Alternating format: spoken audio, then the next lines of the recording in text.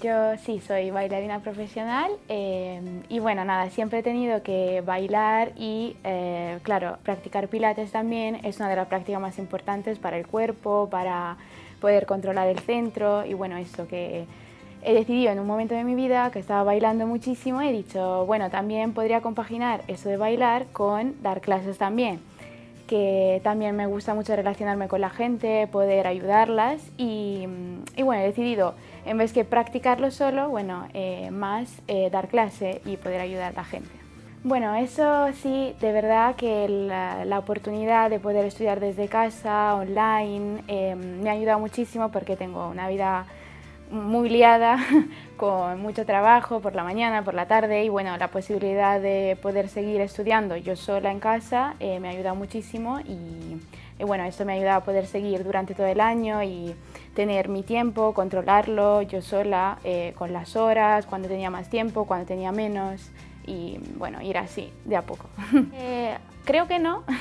a ver, eh, como ya lo he estudiado mientras estaba en Italia y bueno, viviendo aquí ha mejorado bastante, eh, he podido siempre seguir todo bien y así que también me ha ayudado para descubrir palabras nuevas relacionadas al pilates que igual quizá no, no uso en la vida de cada día y así que me ha ayudado para mejorarlo más. Sí, eh, estoy muy contenta con la elección que he hecho porque bueno, cuando decidí empezar a estudiar Pilates estaba mirando a varias formaciones y, bueno, la, que, la decisión que me elegí eso, em, elegí Master D porque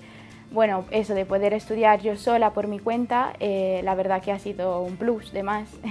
para poder yo poder seguir con mi vida tranquila y compaginar el estudio.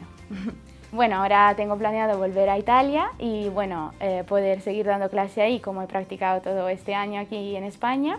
Y bueno, eh, todo, todo lo que he estudiado, lo que he podido aprender desde dando clases, eh, lo quiero poner en práctica ahí y bueno, a ver si no me lío con el idioma. sí, bueno, si sois personas como yo que que bueno, que tenéis muchas cosas que hacer, que no tenéis tiempo, que muchas actividades, que no sé qué, bueno, si,